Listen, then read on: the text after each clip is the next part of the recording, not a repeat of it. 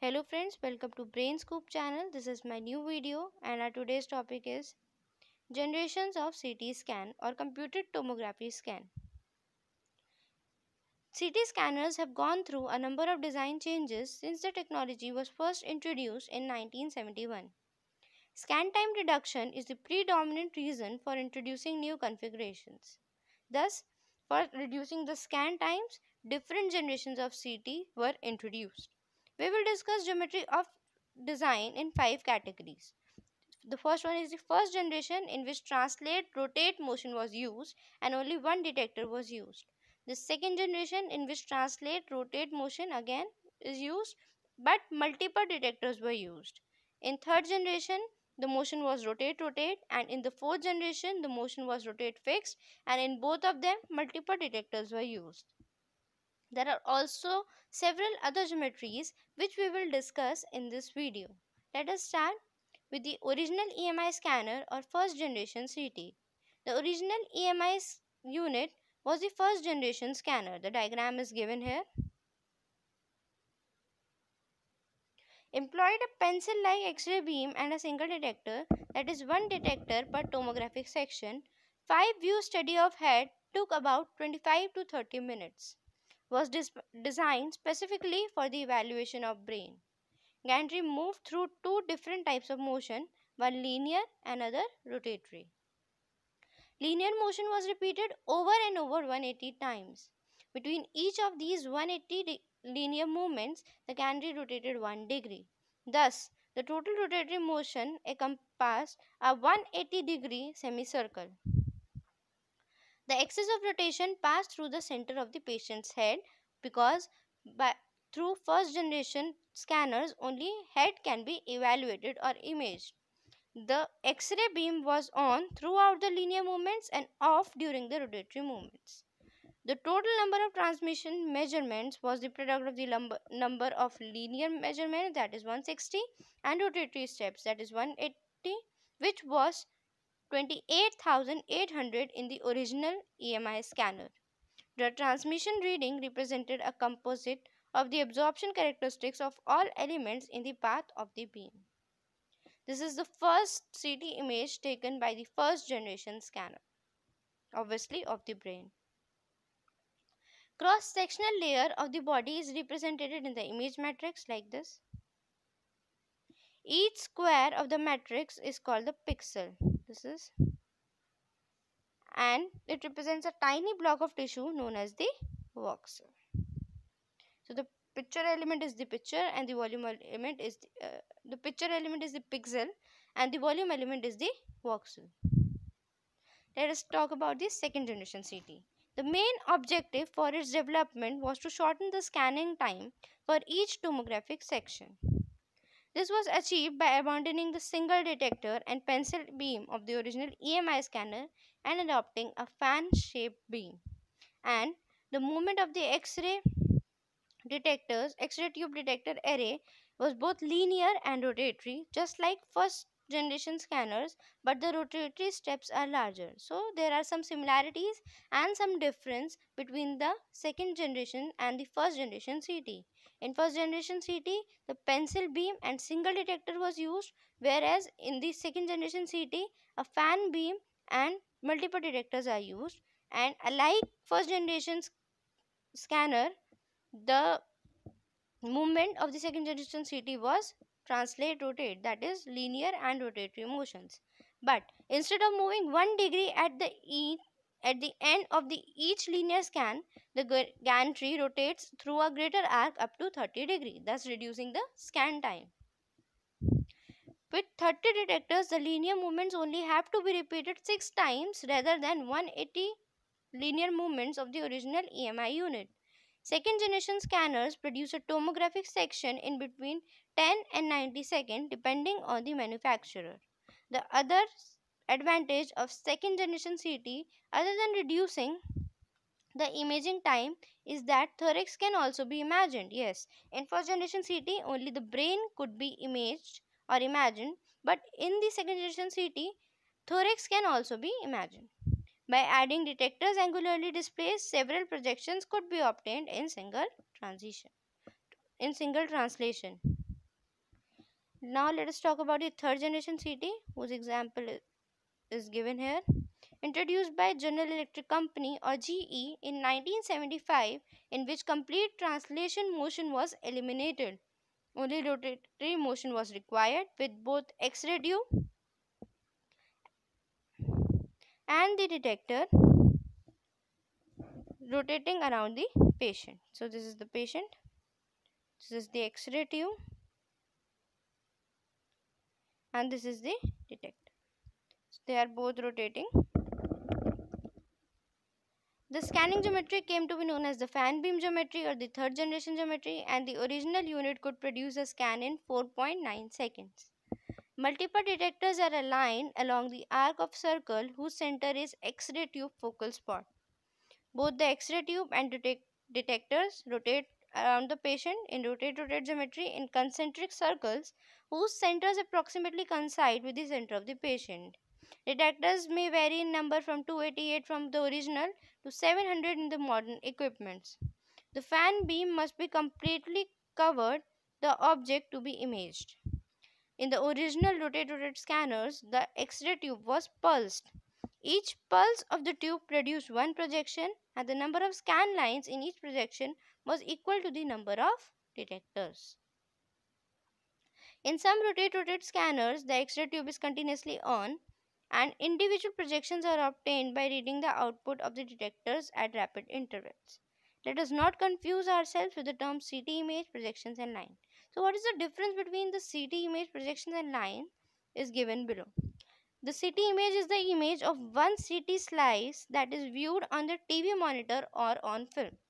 Images or the image is computed from many projections. A projection is produced each time the detector is read. Therefore, the data contained in a projection is a set of reading composed of original signal from each detector that has been exposed to the X-ray beam. We describe the data collected from one exposed detector as a line or scan line. So, a scan line many scan lines can produce a projection and many projections produce an CT image. Now let us talk about the fourth generation CT scanners which is rotate fixed. Why it is called fixed? Because in this only the X-ray tube is rotating and the detectors are stationary. Detectors form a ring that completely surround the patient and they do not move. The X-ray tube rotates in a circle inside the detector ring and the X-ray beam is collimated to form a fan beam. When the X-ray tube is at pre-prescribed angles, the exposed detectors are read. One CT scan will be made up to many projections, each projection taken at a slightly different angle and that is why continuous on X-ray tubes are generally used today. So the basic difference between the third generation and the fourth generation CT scan is that the number one in third generation scanners only rotate rotate motion was used that means the detectors and the tube both are moving but in fourth generation CT scanners the only the X-ray tube is moving and the detectors forms a ring and they are stationary. The detector in a fan beam array have their individual collimators. Most scattered photons are absorbed, are absorbed by these collimators. The advantage of the fan beam multiple detector array is speed, reduced to few seconds. One principal disadvantage of the fan beam is the increased amount of scattered radiation. So this is the fourth generation in which the detector forms a ring around the patient and only this X-ray tube is moving. Other scan configurations, yeah, other geometries. This include, but it is not limited to the fifth generation that is Cine CT, CCTV, sixth generation that is spiral CT or helical CT, seventh generation cone, cone beam CT and multi-slice CT. Let us start. Let us study about the spiral CT or helical CT design.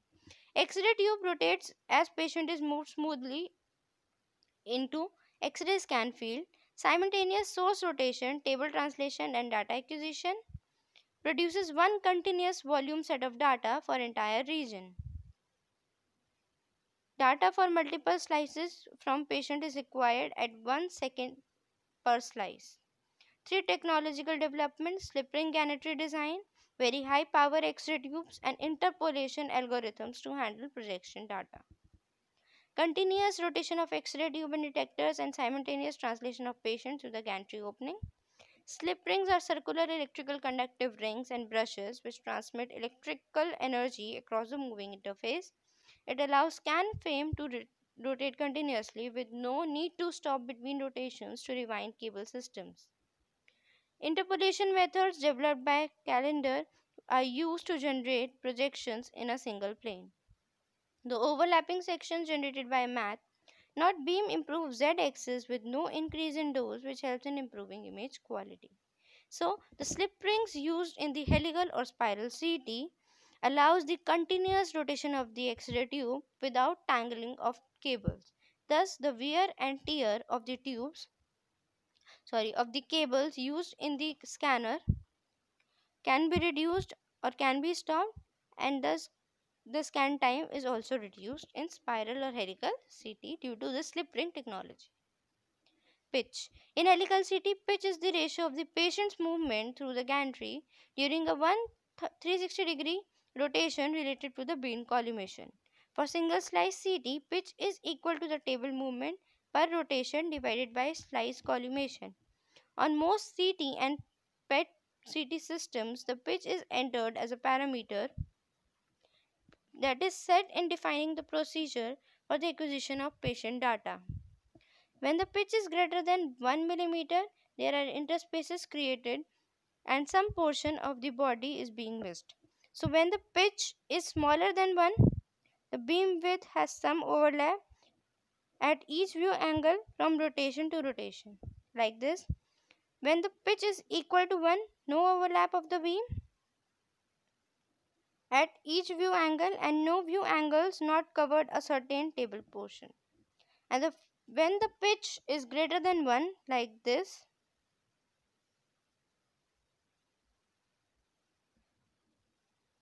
some view angles are not covered by the beam width at certain table positions.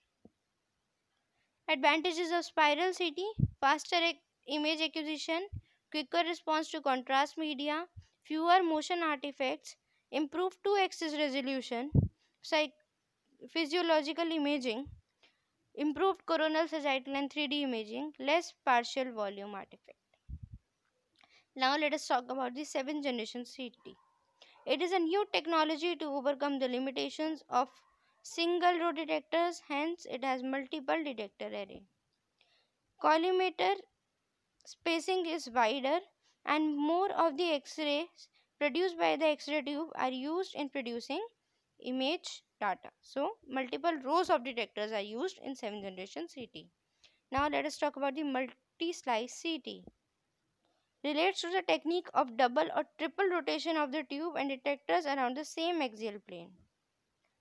Provides double or triple the volume per slice upon which the final image can be derived. In practice, each rotation produces its own bank of raw data.